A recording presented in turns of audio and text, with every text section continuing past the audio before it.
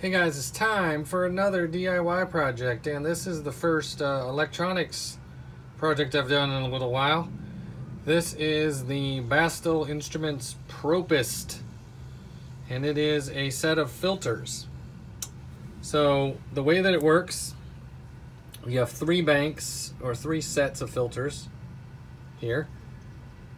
You put if you put your input here, you get a high pass at this output you put your input here, you get a low pass at this output.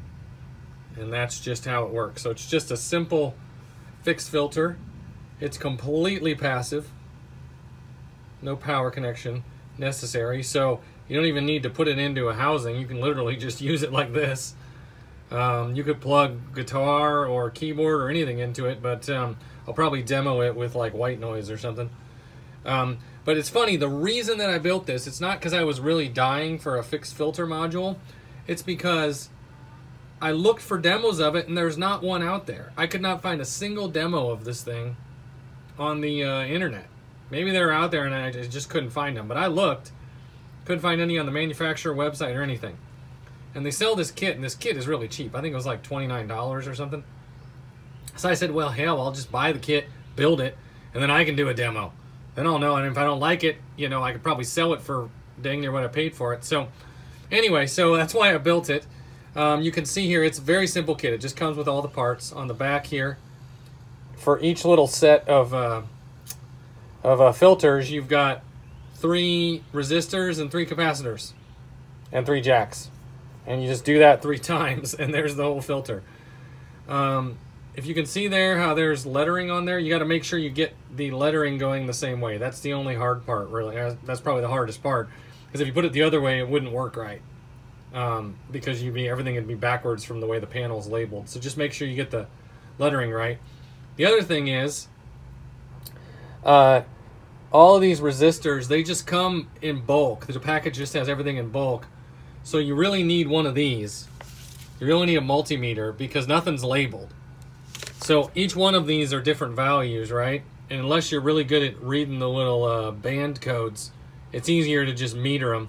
And so that's what I did. I just metered, and it's marked on the board here. I know you can't see it now because all the components are in there, but on the board it's actually marked like, you know, this is a 470 or a 380 or whatever.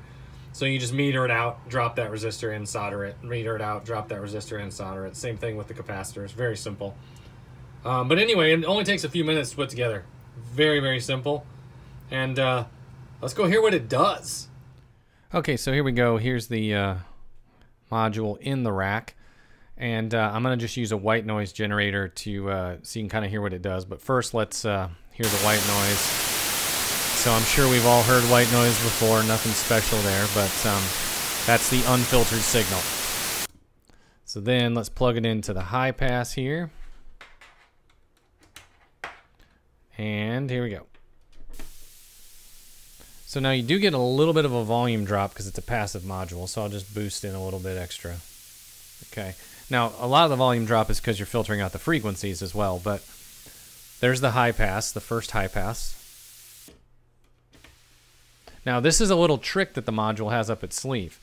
So, as I mentioned before, you plug the input in here and the output here, you get a high pass. You plug the output here and the input here, you get a low pass. But if you plug the input here and the output down here, you get a band pass. It's kind of a hidden filter that's in there. So, first bank of three, high pass, band pass, low pass. All right, let's move on down the line here. Oops. Yeah, that's right. So, next bank, high pass, Band pass. Low pass. Next bank. High pass. Band pass. Low pass.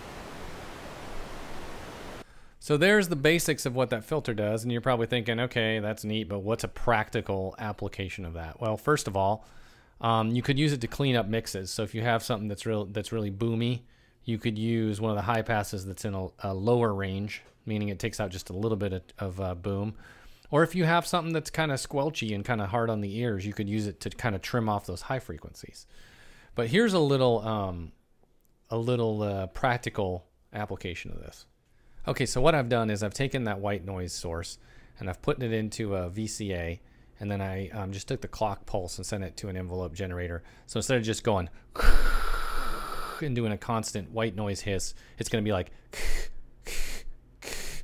so it's kind of choppy, right? Or kind of um, what's the word? Kind of rhythmic.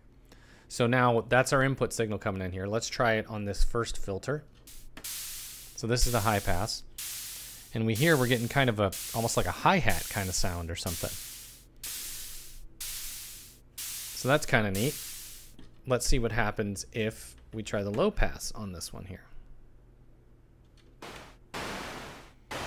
So here we're getting almost more of like a snare drum sound or something. All right, let's try the other, let's try the middle section here. So again with the high pass. So again, very percussive.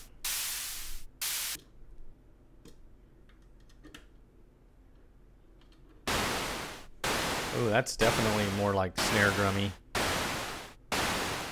Snare drummy, is that an adjective? I don't know. All right, let's try this third set here. So here's the high pass. So again, very percussive, almost kind of like a shaker or something.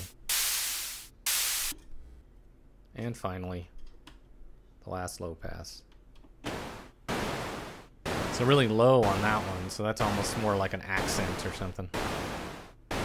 Maybe a crash cymbal or something. So you can see right there that easily with this module, um, you can create percussion sounds from noise very easily without having to take up a filter. So, you know, when you do that traditionally, you're going to be using up a filter that could be used for something, you know, more timbral. So this is kind of a neat little thing for that or cleaning up mixes or what have you. Let's do one more example. Okay, so for this example, I've just taken an oscillator and I've given it a sequence. Um, and it's kind of in a little bit of a higher range so that you can hear maybe a few more uh, changes in there. But um, anyway, let's go ahead. So here's the first high pass filter with the sequence. So you can see we just get the very like tip top of the harmonics there. Let's see what happens if we do the low pass on that. Okay, very different. So this sounds more like a traditional um, like if you had a, a uh, or standard filter, a voltage controlled filter, and you kind of tuned it to a cool frequency, you might do something like that. Let's try this one. Okay. Definitely getting some computery sounds there. And then let's try this one. Low pass again.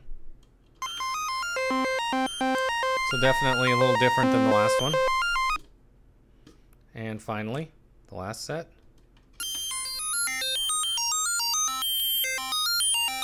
So again, pretty computery sounding. And then finally, let's do the uh, last low pass. So again, that sounds kind of like something you might tune in on a traditional filter. So this is kind of a useful little module. I mean, it's it's very small, um, passive, so it doesn't take up any power or anything like that.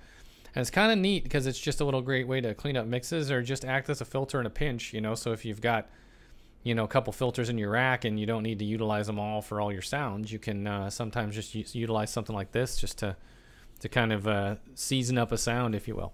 So kind of a fun little project pretty simple. It's the uh, Bastl Propus